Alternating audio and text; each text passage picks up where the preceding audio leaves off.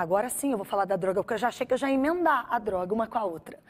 Porque, gente, o COD fez duas operações, uma de droga e essa da, da carga, mas a Polícia Penal de Goiás tem registrado um aumento de apreensões da K4. Recentemente que eu ouvi falar dessa droga, vocês estão vendo que são papéis? É uma droga líquida que pode ser borrifada nesses papeizinhos para poder burlar a entrada. Então é uma droga sintética nova que reúne vários compostos químicos que elas imitam o efeito da maconha, mas um poder destrutivo 100 vezes maior. Tem um componente psicotrópico alucinante, doido. Então, a K4 é chamada informalmente de super maconha. A gente sabe que também existem outros tipos de super maconha, mas cada vez mais o tráfico está potencializando a qualidade, aspas, dessas drogas. E de janeiro a setembro desse ano, foram registradas 48 ocorrências de apreensão de drogas sintéticas semelhantes ao K4 nas prisões daqui do estado de Goiás, totalizando 15.583 selos. Pausa só para explicar para quem não conhece, não que eu quero ser didática para falar de droga, porque eu sou 100% contra, mas esses papeizinhos são justamente para burlar a entrada da droga para a polícia ou para a penitenciária. Porque geralmente os policiais estão acostumados com a droga em volume, né? uma quantidade em pó, ou em tablete, ou em pedrinhas.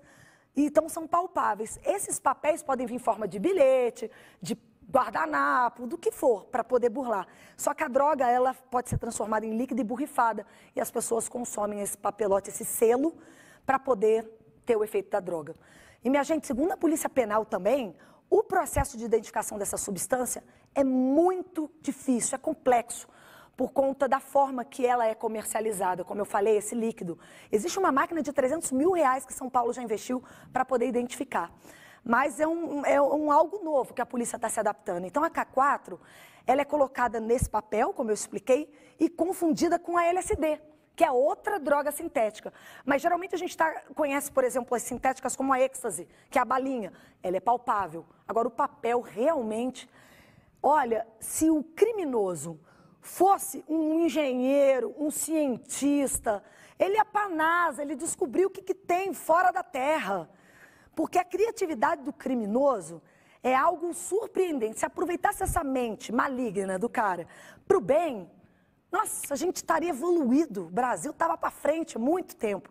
Porque as pessoas reclamam né, que não tem é, botar estudo ou que não tem acesso e aí acaba caindo no mundo do crime.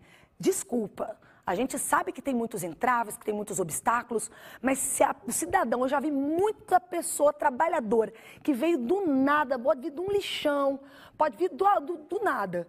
E ela cresce na vida, toma pancada, mas ela chega onde ela quer porque ela é motivada por um sonho, por um caráter, uma vontade de crescer e fazer o bem coletivo. Agora, os criminosos, eles começam a burlar o sistema. É o antissistema.